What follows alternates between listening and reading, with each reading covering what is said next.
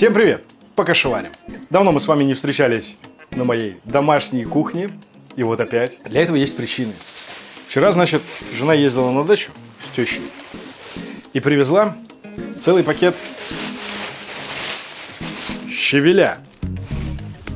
Что делать?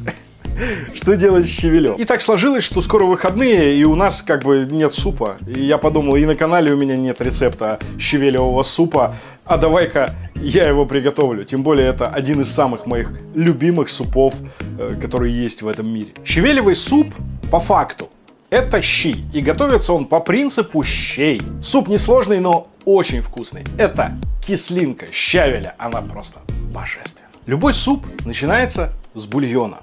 Вы можете его приготовить на курице, на говядине, на чем хотите. Но, на мой взгляд, лучше всего подходит именно говядина. Я бульон готовлю без заморочек. Я не добавляю лук, не добавляю морковь. Я варю только мясо.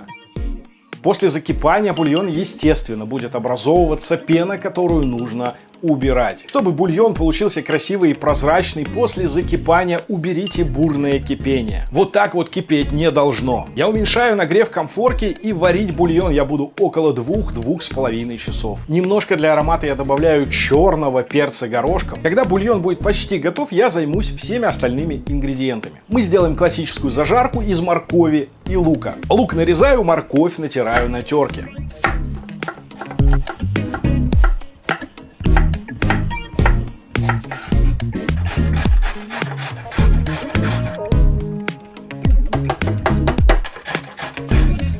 Морковью тоже не стоит перебарщивать. Я возьму полторы морковки. Слегка обжариваю на растительном масле.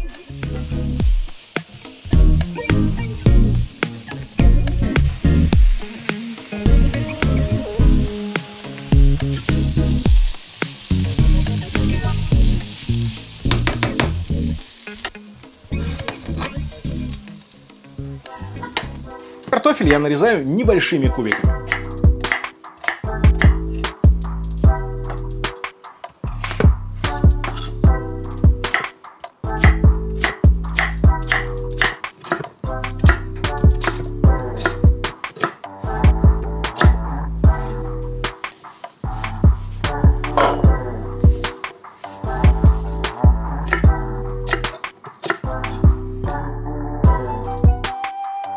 Один из самых главных ингредиентов это щавель. Его нужно после ваших грядок, естественно, хорошенько промыть и желательно неплохо просушить. После чего нарезать его так, как вам удобно.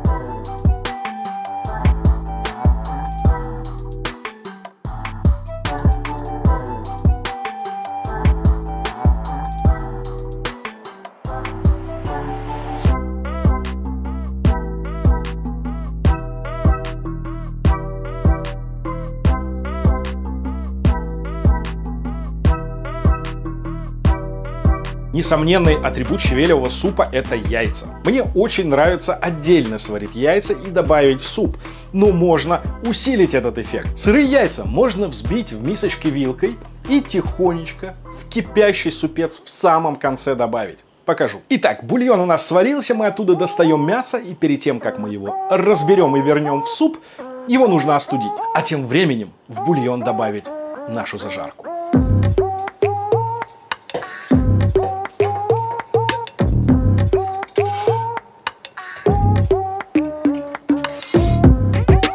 Все вместе проварим 2-3 минуты. При этом не забудьте восстановить максимальный огонь, потому что мы его уменьшали. Вместе с зажаркой добавьте картошку. У нас кубики небольшие, вариться они будут быстро. Около 7 минут.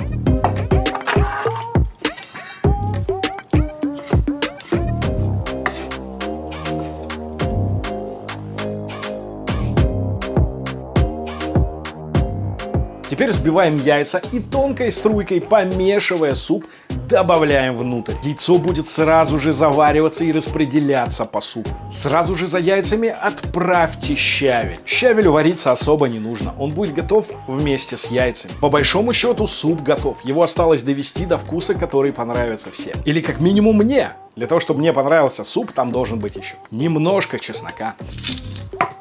Там должен быть обязательно сахар чуть-чуть. Ну и, конечно же, зелень.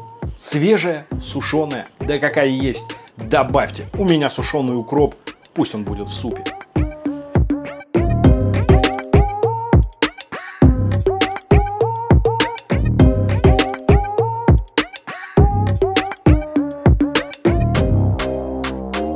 Должен отметить, что если вы добавили яйца внутрь супа, то не возбраняется отварить дополнительно яйца, чтобы добавить уже половинками в супец.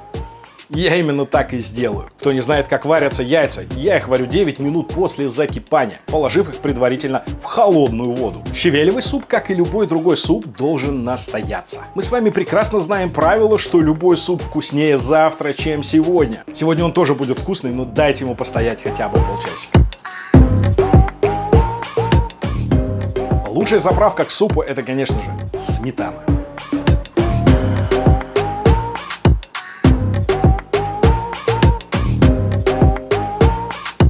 Я люблю щавелевый суп за то, что он как бы вот не такой, как другие супы. Он кисленький, он прикольненький, он сезонный. Я очень удивлен вообще, что у меня жена вернулась э, с целой сумкой щавеля сейчас. Потому что, или щавель, как правильно. Потому что щавель вот у меня ассоциируется с весной. Ну, весна, лето. Но я не ожидал, что столько щавеля она привезет мне сейчас. М-м. Отличный суп, бодрящий. И вот этот вот вариант, типа добавить яйцо внутрь и не добавлять яйцо отдельно, мне не в кайф. Обязательно за время поедания щавелевого супа должно быть минимум два момента, когда ты делаешь вот так. Вот это хорошо. Все остальное от лукавого. В общем, все раскладочки в описании. Ставьте лайки, подписывайтесь на канал. Увидимся скоро.